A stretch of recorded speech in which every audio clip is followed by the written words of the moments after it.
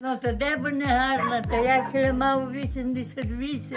На початку війни не було ні інтернету, ну нічого таких комунікацій не було. Сказала Таня, що тут близько 100 чоловік живе. 57 людей чекають. 57? Ну, Важко собі навіть уявити, що у нас час, у час комп'ютерних технологій, різних ноу-хау існують на світі села, де немає інтернету. Та що там інтернету? Взагалі жодного зв'язку немає. А уявіть собі, що такі існують. І я вам таке село сьогодні покажу. Над селом Лубня здіймається гора Черемха. Тут у часи Другої світової проходила знаменита лінія Арпада. Та що там Друга світова? Дотепер археологи знаходять артефакти Першої світової. Про це я окремо розповідатиму. Наразі говоритимемо про те, як зникає з лиця землі не просто село, а історична пам'ятка. Село дуже вимерло. Раніше, десь, може, 20 років назад вони по 250 доларів продавалися. Ціла, хата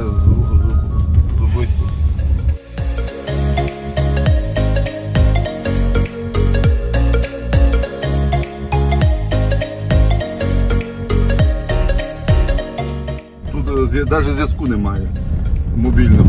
Це через те, що це прикордонна смуга? Ні, то що гори, тут не тягнуть. Тут вишки поставили, а про 5 сімей, про 10 хиш, тут не смисла було в топ ставити мобільну. А що в селі залишилося 10 хеш? Так, так, десь 15-10 хат.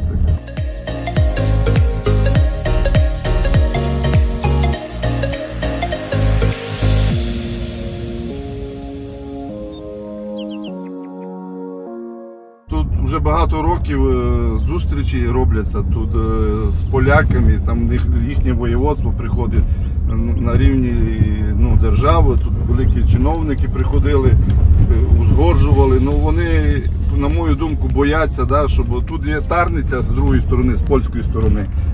Поляки бояться, що всі туристи, ми там на зустрічі, коли були відкрита тут границя, була, він показав паспорт, можна було йти там піше, піш, піший переход зробили. Три дні можна було ходити так. Та там багато дуже, там, там хат так само, як тут у Лубні, 15 хат, але то всі хати се займають туризмом. Здають велосипеди, в оренду машини, там Ну, великі. чудесно, туристичний бізнес. Да, і вони, значить- поляки, бояться, що всі туристи, бо там, не, там немає нічого, лише одна, одна гора така, тарниця, і все, вони на ту гору ходять. А в нас тут дуже краєвиди великі, вони бояться, що швидкі туристи, то ні, ні Конкуренція. конкуренція, і, і того вони все не хочуть відкрити переход.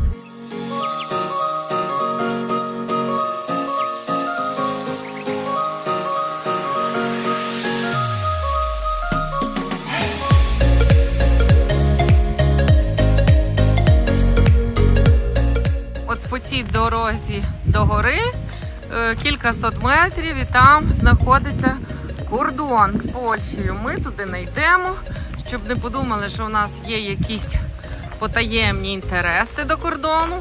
І ми вирушили, як то кажуть, від зворотнього.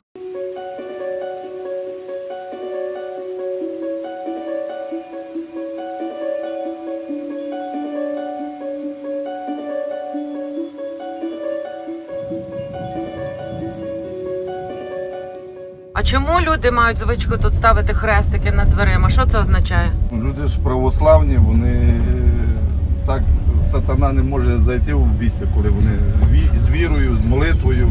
Ага, це такий символ, щоб Так. уберегти худобу, уберегти Худобу себе. від всякого нечисті, всякої. Люди тут практично на наодинці з Богом, Так, на короткій нозі, як то кажуть, так? Напевно, саме тому церква у Лубнях урочиста, мов наречена. Ось що тримає останніх людей на покинутій іншими землі. Ага. Ось вона як. Ну правильно, від кого тут закривати? Тут же крім нас ніхто не ходить.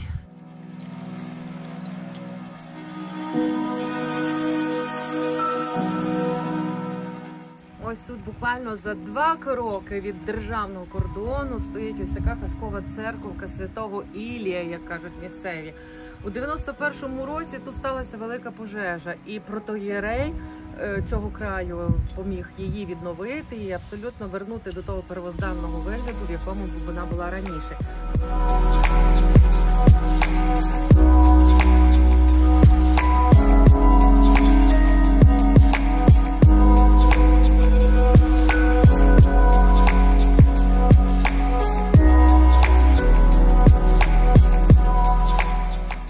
Звісно, що ми сиділи би і сиділи би тут біля церкви, але ви бачите по кадру, яка хмара насувається над горами. І є велике переживання, що нас таки перехопить дощ.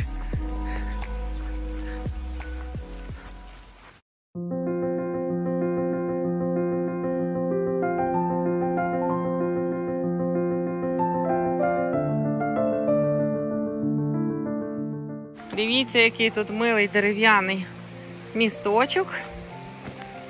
І під місточком дзюрчить вода. Цікаво, це уж чи це його якась притока. Адже уж починається від ушка за 15 кілометрів звідси. Дивіться, як добротно викладені береги річки. Я так думаю, що якби не оце каміння, то село, певно, би страждало від повені. Ну, але так, будемо відвертими, їм тут і без повеней не солодко живеться.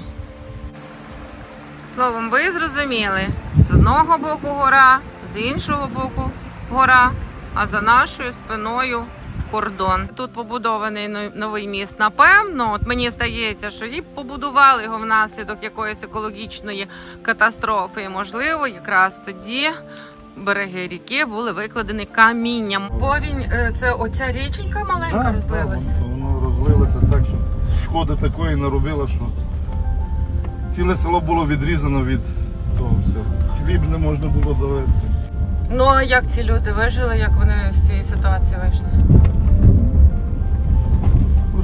Ну, временно таке зробили, переход якийсь такий плавний, щоб можна було по бистрячку ходити, хліб довозити, продукти, питання Тобто дороги практично не було. практично не було.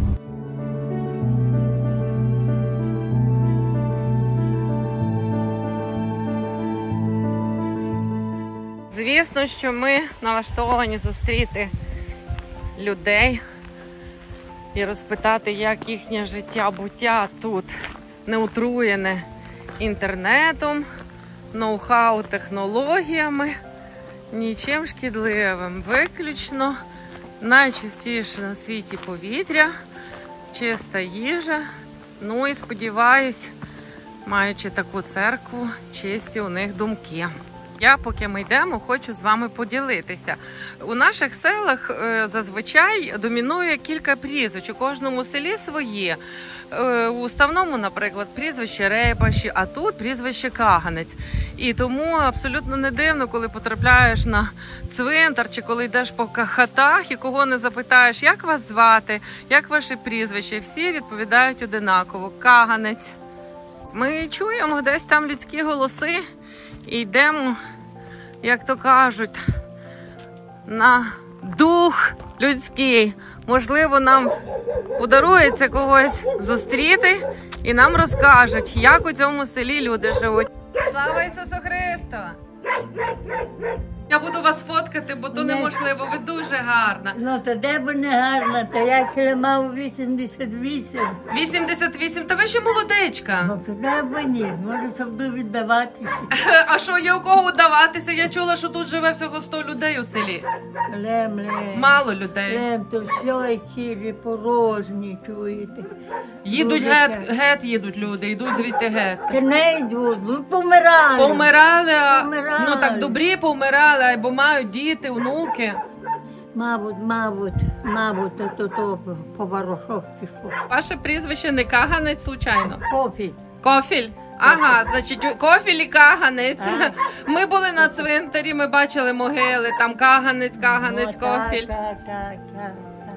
А ще які популярні тут є прізвища? Кучірка. Кучерка. Ай, Кучірка. Ага. Івашкович. Так що є, то і не, не одні каганці та й кофілі. Ну, та не всі пару є. А дідо ваш давно умер? Ну, тільки 15 років. 15 років. Так що а ви зять 15 років. умер 13 років. І зять умер. Ай, ми лим дві стали. Ви і, і хто? І сестра? Е, Дівка, Ага. дівка. Боявся, то ми зістали вдовіці. Тяжко робить, робить, дівка, де робить. Боже, це, я вже Другу війну світову затягнула. В 42-му році та ходила ту, туди з коровою по лісах, де казали. Ви пам'ятаєте Другу світову війну? Правда, бо я вже мала сім років, я за Мадяр, я о, Мадярщина була, Мадяри були, коли я тут жила. А як же тут були касарні мали, Мадяри, а як це забирали, все і запалили, як почали касарням бевхати, та по хижах шутко і біло трепало. А туди йшли німці, туди йшли німці. Наші хижі були німці. У вашій хижі Мали були німці, у тих хижі? Невці, невці. Я от я тут жила там, і там їм, я так відтам собі дала гев пішла. А за німцями туди йшли гев москалі, то чого його туди йшли. А йшли болотом таким, а йшли, а йшли. Дуже много йшло, вже ми це так е, бояли, але ніч нам не робили. Наші діди, то ніч ще їм давали молока. Що? все Молока- й молока давали.